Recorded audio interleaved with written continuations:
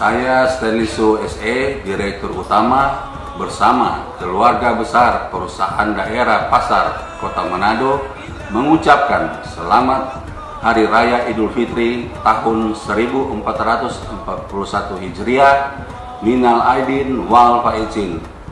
Mohon maaf lahir dan batin.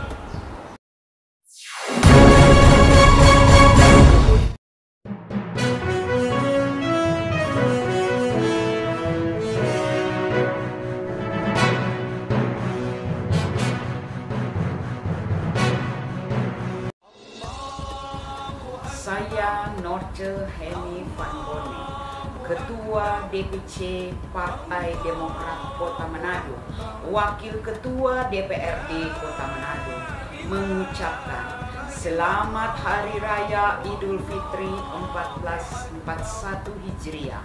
Kiranya di bulan yang fitri ini semakin mempererat kesatuan dan persatuan di kota Manado yang kita cintai. Minal Aidin wal Bajin, mohon maaf lahir dan batin. Pesta demokrasi tetap akan bergulir pada bulan Desember mendatang, membuat sejumlah tahapan segera bergulir dan dilanjutkan setelah tertunda akibat dampak wabah pandemi COVID-19 di Indonesia tak terkecuali Sulawesi Utara.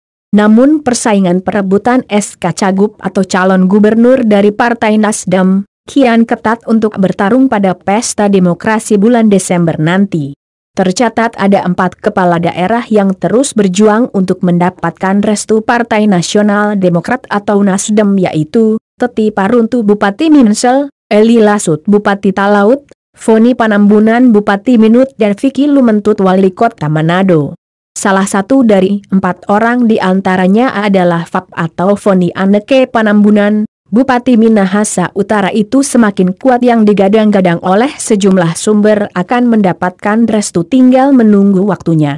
Menyikapi hal tersebut saat diwawancarai mengenai SK tersebut, Kamis 11 Juni 2020 Bupati Foni Panambunan atau FAP sapaan akrab bagi kalangan milenial Sulut, mengatakan segala sesuatu sudah diatur oleh Tuhan, dan Foni mengamini jika Tuhan mengamanahkan kepada saya. Saya sebagai manusia tidak boleh berpikir melebihi pikiran Tuhan karena saya mempunyai iman, jika Tuhan percayakan SK tersebut saya sangat berterima kasih dan akan saya jalankan dengan baik. Andri Siwi TV5.com melaporkan dari Minahasa Utara.